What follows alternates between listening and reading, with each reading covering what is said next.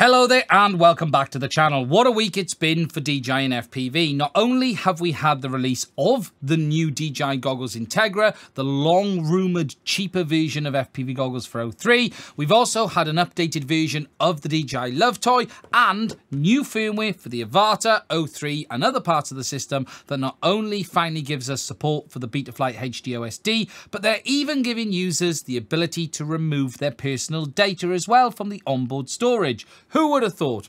What I want to do today, though, is just walk you through what's gone on this week. Now, just to be clear, I don't have the new goggles yet. They are en route to me. I will have them tomorrow. I'll be talking about them on the weekend and Sunday's night's live stream. So if you're interested in seeing that, please do make sure you are subscribed to the channel.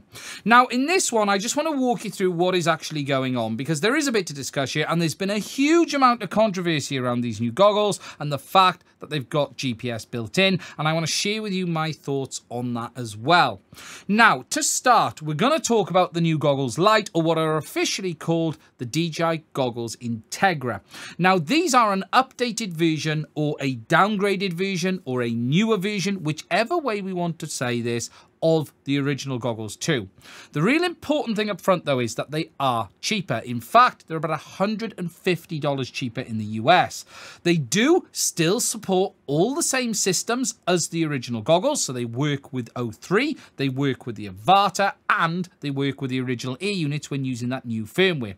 If we just hop over to the desktop, you'll be able to see the price of these new goggles here at 499 and you can see that they are very similar looking in shape and design, but there is some big visual differences too, which is this big block on the back. This is the built-in battery. So rather than have a separate battery, DJI have now integrated the battery into this head strap at the back, very similar to what they've done in the past with the goggles white or the goggles RE, something very similar to what we've seen before. There are also some other big changes as well, which I'll walk you through. So if I come back to there, we have new overall shell with a couple of little changes. The touchpad is gone and has been replaced by a joystick. The LED pad is gone as well. There is also changes to the optic system. You no longer have built-in focus adjustment and they now have fixed focus lenses and DJI include multiple different lenses in the box. Also, as a result of the optics changes, the field of view has been reduced as well. It's dropped from 51 degrees on the goggles 2 to 44 degrees on the goggles Integra. It's going to be really interesting to see what that change actually manifests like because many people, including me, struggled with the optics on the goggles 2 and actually the smaller field of view might be a little bit better. Up front, I like big field of view goggles, but I want to try it before commenting. And again, it's something that's going to be interesting to see how it really turns out. The real interesting thing about these new goggles is there's a number of things that DJI have taken off, including Wi-Fi and Bluetooth, but they've also added a feature as well, and that is they have added GPS. Now, this GPS has caused quite a bit of controversy. Officially, it's been added to allow the new goggles Integra to work with the Avata when used in the US in a remote ID area without having to connect up your smartphone. So currently US users, if they want to fly with their remote ID firmware, they end up having to plug in their phone so it's got a position lock on the pilot. Whereas now, with the goggles Integra, you will no longer have to do that. Unfortunately, though, this has caused quite a stir in the FPV community, with many speculating on what DJI is going to do with that GPS module with O3, and are they suddenly going to be putting remote ID on O3? Now, I just want to be clear on the differences between O3 and the Avata and remote ID. DJI do not have a remote ID module in the Avata. DJI's radio system, OcuSync 3 Plus, OcuSync 3, is an SDR that is programmable to do whatever DJI wanted to do. They are able to program that SDR to transmit the video and the control like we have, but they can also tell it to transmit remote ID packets, and that is what they've done on the Avata. However, as far as we know, there are no remote ID packets being transmitted from O3, and the fact that these new goggles have a GPS module does not mean DJI are suddenly going to be turning on remote ID on O3 as well. There really is no reason to link the new goggles Integra having GPS to the fact that DJI is suddenly going to be transmitting remote ID on O3. They can absolutely update the firmware to turn on O3 if they wanted to, but you would have to choose to update that firmware and they would have to put that in the release notes or there would be frankly uproar. You would not be forced into taking that firmware, and even if they did do it, you would still have that option to not upgrade. But let's be clear here and now in saying that there is no evidence that DJI intend to turn on a remote ID on O3 at all, and the very fact that there is GPS in these new goggles does not mean it is any more likely. It makes complete sense, in my opinion, for DJI to build a GPS in, allowing them a much better user experience with the likes of the Avata. Now, these new goggles are very interesting because they are massively cheaper than the goggles 2. And in my opinion, that saving is a lot more than the BOM or the savings that they'd have had on the changes they've made. And I'm really looking forward to seeing how they perform when they arrive. They still have all of the main features we want from these goggles. They have the 1080p OLED displays, fully support O3, the DVR is built in, it's got that new software, it has all of the good bits of O3, and really what DJI have done is tried to make them a much better user experience. You've got that built-in battery on the back now. You've got that GPS to make it easier to use with the Avata if you're in an O3 RID area. And overall, they've improved them in little bits, like getting rid of the touchpad. I hated the touchpad. So it's going to be interesting for me to see how it is. As I've already mentioned, that reduction in field of view as well is going to upset some people. But let's be all honest, the optics on these goggles were not great, and it could actually be a benefit, and I'm looking forward to testing it for myself. Overall, right now, the goggles Integra look like a really good option for people who want to get into O3. Now, these new goggles obviously do beg the question on what is going to happen with the FPV goggles version 2. Reality is, Officially, we don't know, but in my opinion, these new goggles mean the end of the goggles 2. So if you are interested in getting a set of the V2s, I would strongly suggest going to get them. As what it means for the goggles 2 themselves, we don't know.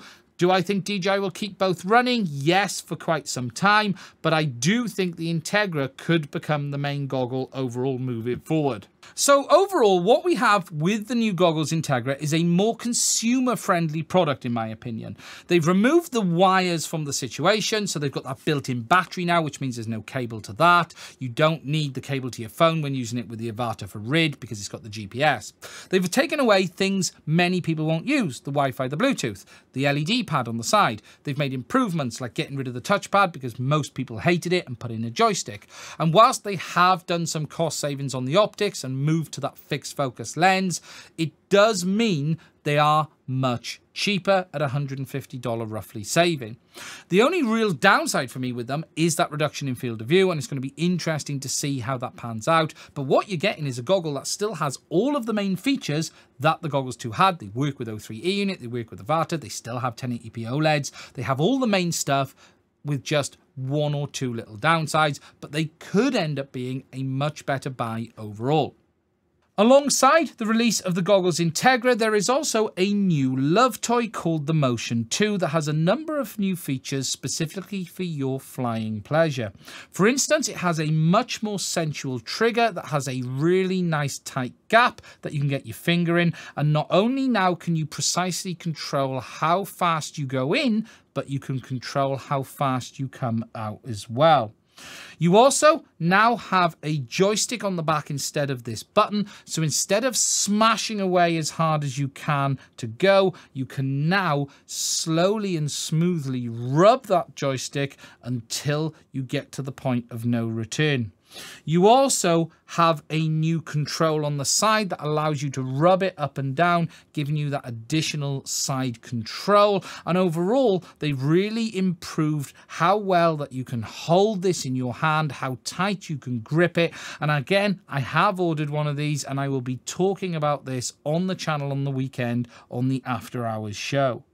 Now, alongside the hardware, we've also had some software updates as well, and these do bring some of the features people have been waiting for. For instance, we finally have HDOSD support in the DJI system. Now, this HDOSD support works on the O3 Air unit and the original Air units when using them on that O3 firmware.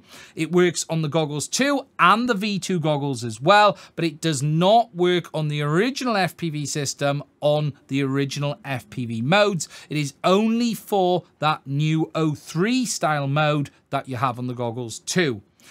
They do though add the ability to have that HDOSD on the goggles V2 when using the O3, but you can't have that HDOSD on the Air unit in Vista with the V2s. You can only have the HDOSD on the Air unit in Vista when using them with the goggles 2 on that O3 firmware.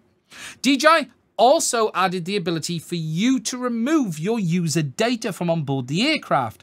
Now, there has been someone whinging about this in recent times, and DJI appear to have listened and finally have given users the ability to delete it. So I want to say a massive thank you from me to DJI for doing this. I think it's great to hear them take feedback, hear them, see them take feedback from the community and implement it. They've done the right thing here. And whilst I'm the first to be critical of when they do something wrong, I will also be the first to say when they do something right. So that's it. New goggles, new love toy, new firmware. Now, my goggles Integra will be here tomorrow. To get these, I've ended up having to order a whole Avata pack because I couldn't get the goggles 2 alone. Sorry, goggles Integra alone. However, I will be probably selling the Avata from that kit. So if you're interested in an Avata, please reach out to me. Also, I just want to say a massive, massive thank you from me to all of my Patreons. I would not have been able to order any of this gear without the support of my Patreons. I intend to be sharing with you my thoughts on the new goggles Integra on the weekend, and I would not be able to do this without the support of the community. So if you want to help us to keep making content like this, my older content, and what I'm going to be making in the future, please do consider checking it out. But a massive thank you from me. Would not be able to keep going without all of you amazing folks. Anyway, I'm really interested in hearing your thoughts. Please do let me know what you think in the comment section. I'll be updating you when the goggles come soon. Don't worry about RID. It's not coming. No one has said it is. The GPS is just a GPS module. No need to run out and get tinfoil hat quite yet. Anyway, stay safe. I'll speak to you soon.